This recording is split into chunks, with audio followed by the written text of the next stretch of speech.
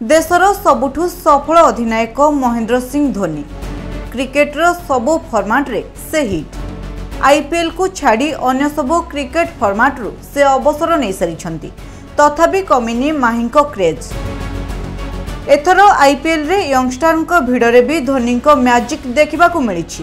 ଫିଲ୍ଡକୁ ଓହ୍ଲାଇବା ମାତ୍ରେ କମ୍ପି ଉଠେ ଷ୍ଟାଡିୟମ୍। ଧୋନିଙ୍କ ବ୍ୟାଟିଂ ଦେଖିବାକୁ ସତେ ଯେମିତି ଚାତକ ପରି ଚାହିଁ ରହିଛନ୍ତି କ୍ରିକେଟ ପ୍ରେମୀ।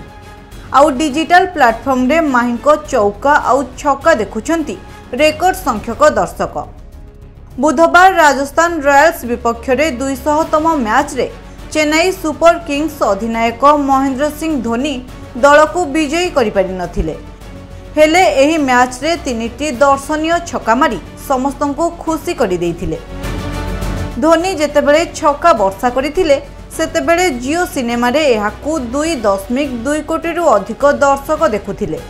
ଏହା ହେଉଛି ଦୁଇହଜାର ତେଇଶ ସିଜିନ୍ର ଅନଲାଇନ୍ ଲାଇଭ୍ ଷ୍ଟ୍ରିମିଂ ପ୍ଲାଟଫର୍ମର ଜିଓ ସିନେମାରେ ଧୋନିଙ୍କ ପାଳିରେ ସର୍ବାଧିକ ଦର୍ଶକ ଦେଖିଥିଲେ।